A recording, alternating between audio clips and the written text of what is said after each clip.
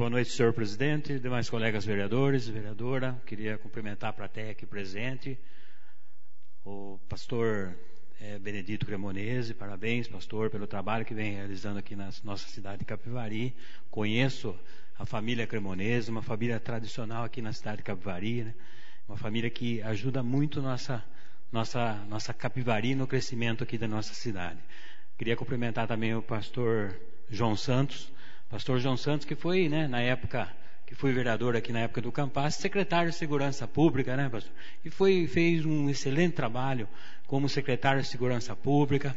A gente acompanhou o trabalho do, do João Santos, viu, João? Parabéns mesmo pelo seu trabalho e o trabalho que vem realizando junto, né, à igreja. É, eu acho assim, a importância de um pastor, a importância de uma igreja leva, né, as pessoas em bom caminho. Todos que acompanham uma igreja sempre vai em bom caminho.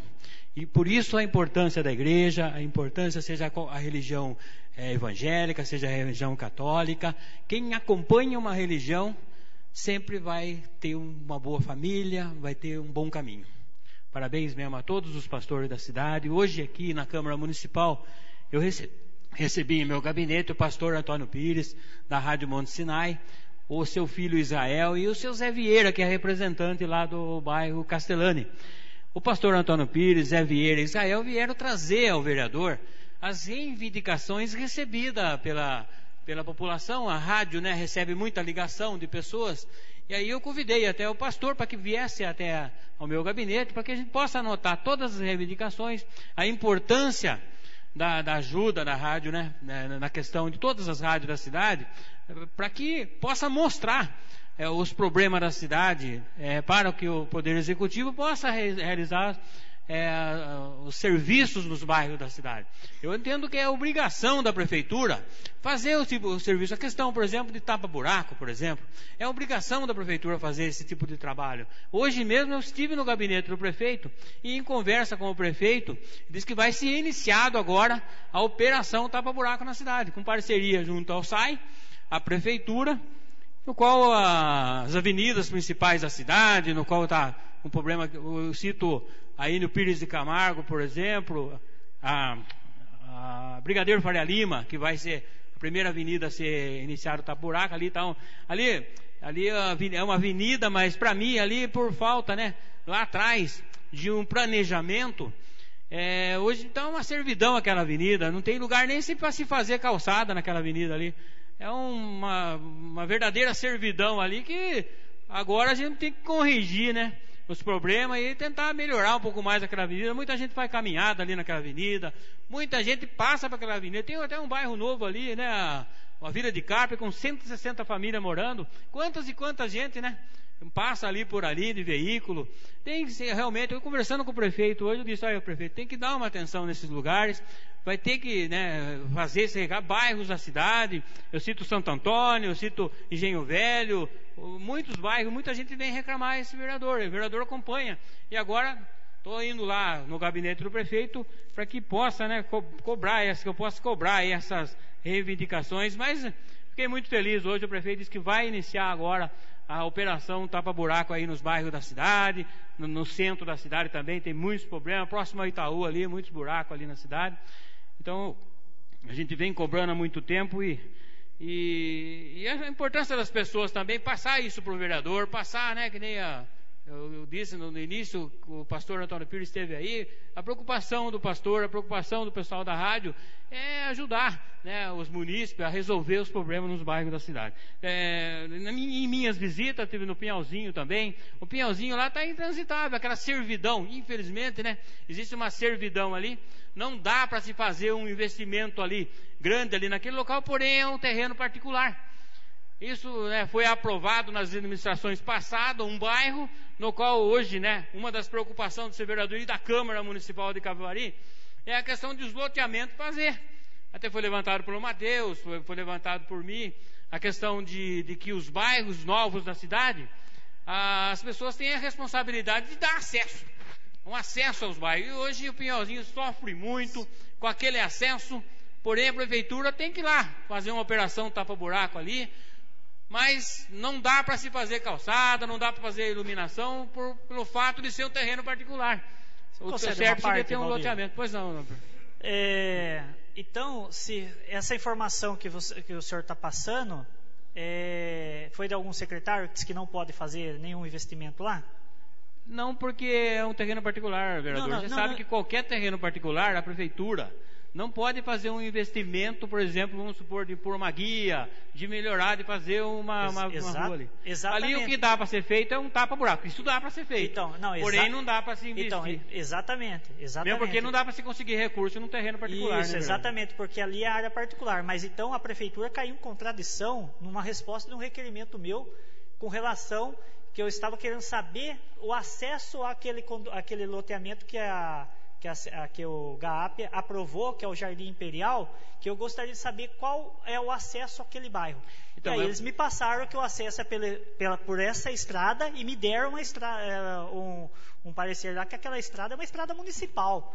Então está desencontrando informações aí. Então ela ali é terreno particular, é, se, diante do requerimento, é uma estrada que a prefeitura pode fazer investimento. Isso, é, é o terreno particular. Se é a empresa que vai fazer o novo loteamento lá, ela pode fazer Mas então investimento. Alguém, você vê, então alguém mentiu. Ela pode. Não, alguém mentiu, né, no caso. Ou alguém mentiu que... o senhor ou mentiu o ali, ali não é terreno da prefeitura, ali é, é um terreno particular. Até então, é. que eu sei, realmente é, é terreno é. particular. Mas então, alguém passou uma, uma, uma, uma resposta de um requerimento que é um documento oficial né, é, que não condiz com a verdade. Isso é, é na, isso é grave. É. O senhor sabe, vereador, que na lei não permite que se dê, faça investimento em terreno particular, mesmo porque não consegue recurso.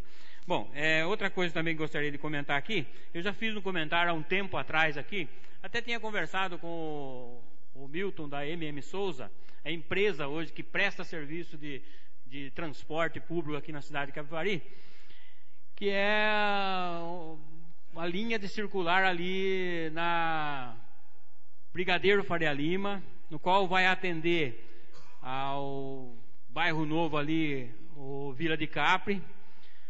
A Vila Fátima, por exemplo, e a Nova Aparecida, que precisa, por exemplo, de um circular, tem que vir aqui à Praça Central para poder pegar um circular. Eu acho que daria, né, para colocar uns horários, principalmente nos horários é, de, de, de, pico, né, uns horários importantes, né, que a pessoa de manhã, na hora do almoço, à tarde, que a pessoa mais utiliza o circular.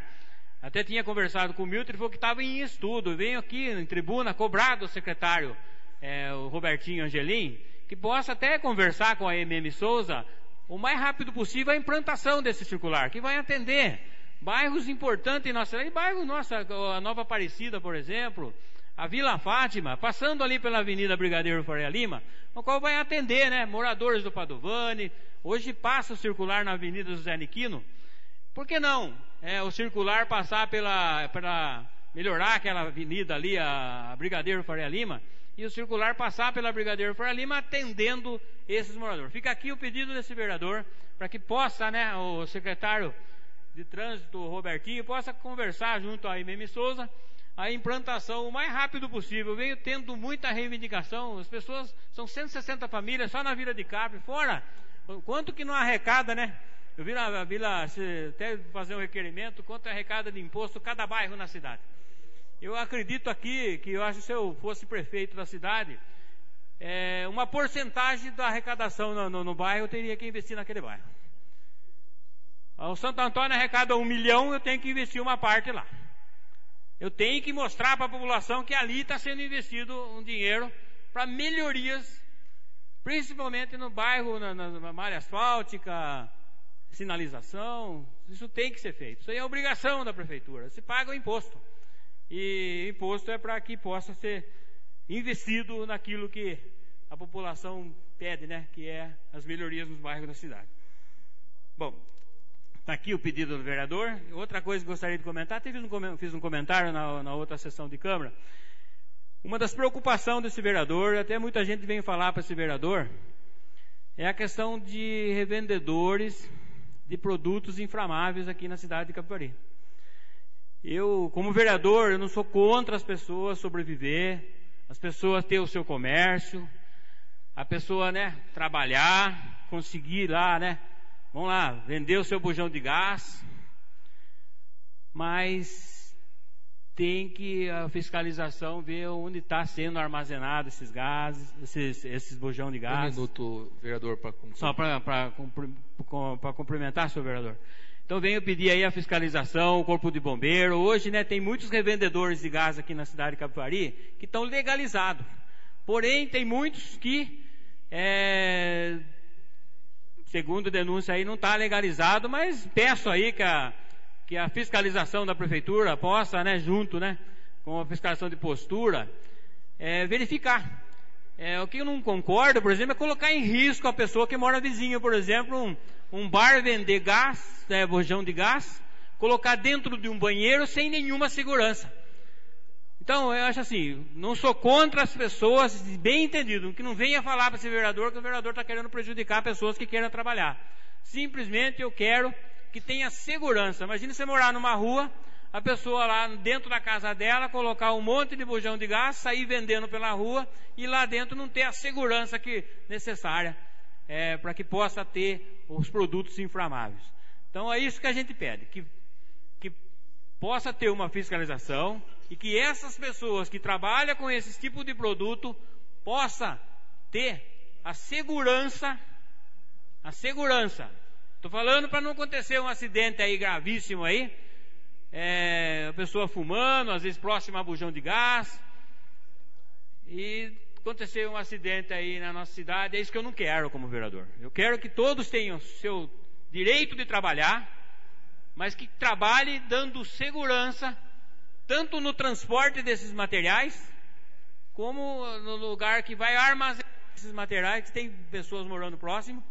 E aí Pode acontecer, é, a gente reza para que não aconteça, mas pode acontecer um acidente. Então vamos evitar, fazendo com que essas pessoas se legalizem junto aos, ao corpo de bombeiro. É a questão das revendas. Permita a parte, vereador. o meu tempo já acabou.